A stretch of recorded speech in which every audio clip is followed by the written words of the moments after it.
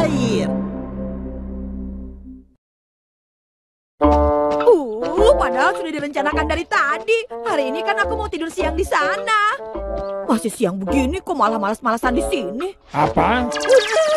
Ternyata masih bangun. Kalau tidak ada urusan, cepat pergi sana. Baik. Ah, bikin kaget saja. Hah? Doraemon, Eh, Nobita, tunggu sebentar ya. apa itu? Ini air, Air apa? air biasa. Sebenarnya aku sedang merekam film lewat air ini. Karena penontonnya banyak, aku tidak kebagian tempat. Jadi sebelumnya aku pasang botol air ini di sini. Untuk apa? Video air. Nah, lihat ini. Air dari botol tuangkan semua. Hmm, mulai. Ada gambar yang muncul. Ini kan drama kaki tangan yang terkenal itu. Pelakunya adalah kamu.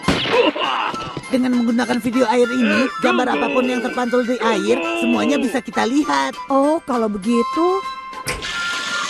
Kalau dari air keran, kita bisa lihat apa? Tidak pernah terpikir sebelumnya. Ayo kita coba.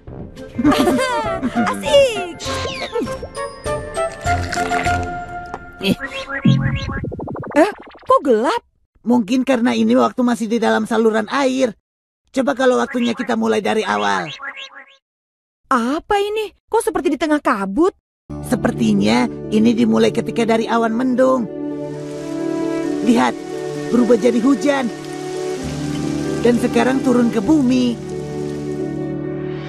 Dan setelah itu, berubah jadi mata air dan mengalir lewat sungai yang kecil juga.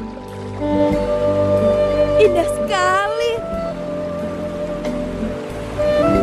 Hmm? Anak itu sedang apa di sana? Perbesar dulu gambarnya. Alat ini banyak fungsinya, Sepertinya dia sedang main kapal dari daun. tapi wajahnya terlihat sedih. Hmm. Begitulah, air mengalir dari tempat yang jauh dan melewati banyak tempat. Hingga akhirnya ke tempat penyaringan air dan dikirim ke rumah-rumah untuk jadi air minum. Jadi begitu. Kamu jadi sekalian belajar loh. Baiklah, aku mau pergi ke beberapa tempat untuk ambil airnya. Aku pergi dulu ya. Kalau sudah suka sesuatu, tiba-tiba dia lupa dengan tiru siangnya. Aku sudah kumpulkan yang banyak nih. Mula-mula ini, Itu dari mana? kolam di taman. Hmm, tidak ada siapa-siapa. Tidak seru. Waktunya dipercepat saja. Tunggu, Oh, ada orang di bangku taman. dia lagi. Kamu kenal dia? Tadi dia tidur siang di lapangan. Tahu tidak, orang ini yang mengambil tempatku loh. Hmm, kalau itu... Ini dari sungai yang di dekat sekolah. Hmm, Tidak dapat ya. berikutnya air dari mana? Ini yang paling hebat. Eh, cepat beritahu aku. Air dari kamar mandinya si Suka. Eh, eh, sebenarnya kamu memikirkan apa sih? Itu sangat memalukan. Iya, baiklah. Aku buang saja deh. Ehem, karena sudah telanjur ya sudahlah. Hmm.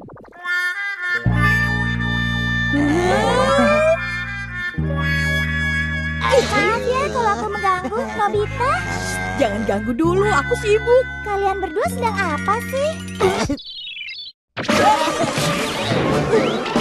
Ada apa sih? Ah, tidak ada apa-apa.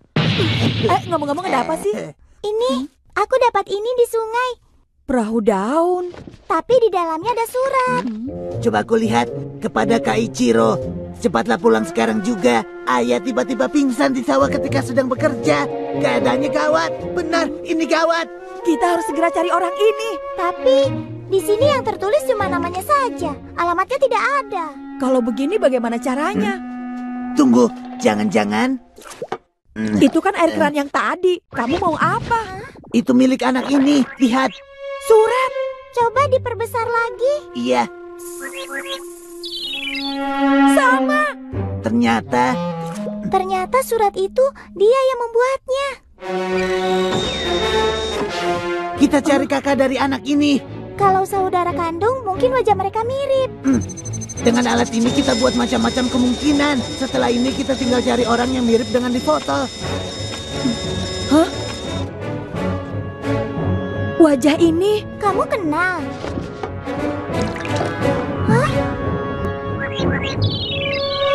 Mirip sekali. mungkin dia masih di taman. Paman, Berisik sekali. Cepat pergi. tolong dengar kami dulu. Ayah paman saat ini sedang dalam bahaya. Kamu bilang ayahku dalam bahaya. Hah, memang kamu tahu dari mana? Kami tahu itu dari surat adik paman. Tulisannya untuk Kak Ichiro. Hah? Kok kalian tahu namaku? Lihat foto ini. Ini adik paman kan? Jiro. Pokoknya cepat baca surat ini. Tidak. Aku pergi dari rumah karena bertengkar dengan ayahku. Tapi sepertinya aku juga gagal hidup di Tokyo.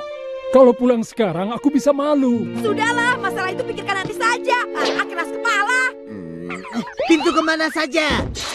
Tempatnya Kampung halaman paman. Eh, ya baiklah.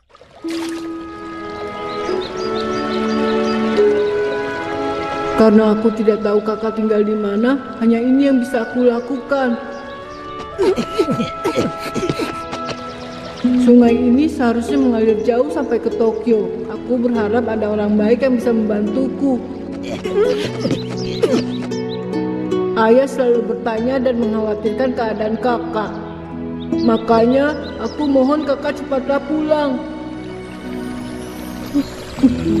kakak.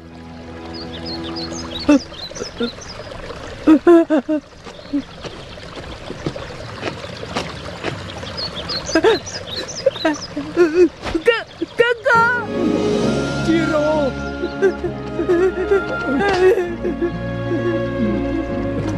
Ayah mana? Kalau sudah bertemu kakak, ayah pasti cepat sembuh.